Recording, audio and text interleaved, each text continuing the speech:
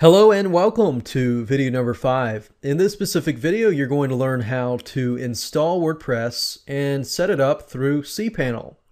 And then I'm going to give you a quick overview of the WordPress area on how to use it and how to make it search engine friendly. So let's go ahead and get started.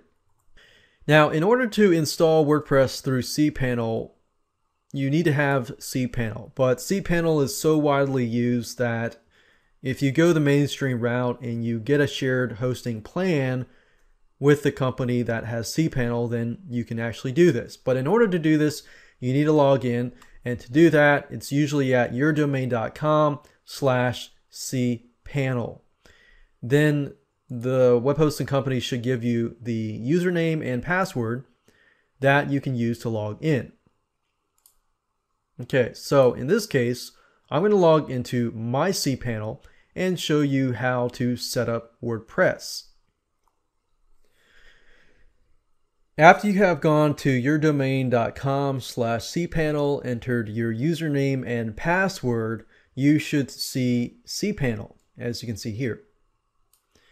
Now, what you need to do is scroll down, and you should see a blue smiley face here. Most web hosting companies use this and this click on this smiley face here and you're going to be looking for WordPress. So click on WordPress, click new installation.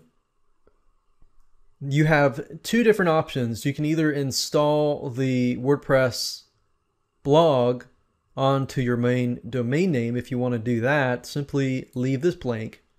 If you want to install WordPress into a specific folder, then you'll need to enter the folder here. In this case, I'm going to leave it as it is, and you want to enter your username and password. What I recommend is to use something other than admin, so something else, different username. Enter your username and password. Enter your site name and your description and your email address. Do all that, click on install WordPress, and I'll see you in the next step. And after that, click on finish installation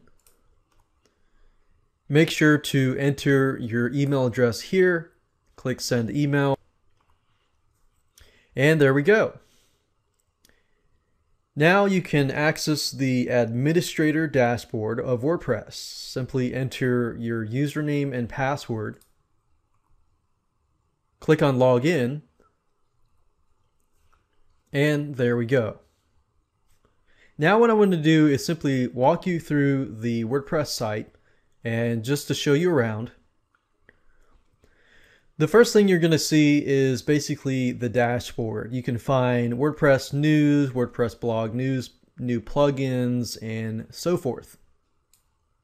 At the left-hand side here, you can create posts, categories, tags. You can add media like pictures, videos, and files. You can create galleries, you can create pages. You can moderate comments here. You can change the look and the design of your site, which are called themes. Widgets basically give you the ability to just customize your site. You have menus, basically navigational menus. You have a header, you got background, you have an editor, you have plugins, which are basically small little applications that allow you to run your site. You have users, so you can add authors, guest posters, people that can submit content to your site. We have tools. We don't really use this as much. And then we have settings. Settings under general settings you have you can change your site title, your tagline, your time zone and other stuff like that. You have under writing just the way things are formatted. We have reading and reading basically allows you to display whatever you want to appear on the front page, whether it's your latest blogging posts, whether it's a static page And then we have discussion that relates to comments, approving comments, uh, moderating comments, blacklisting certain people with certain, you know, words. We have media, sizes, and permalinks.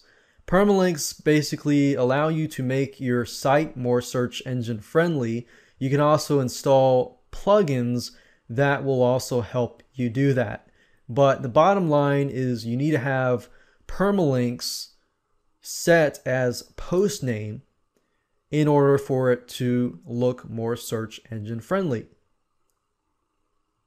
So make sure you click on post name and from that point click on save changes and that's it.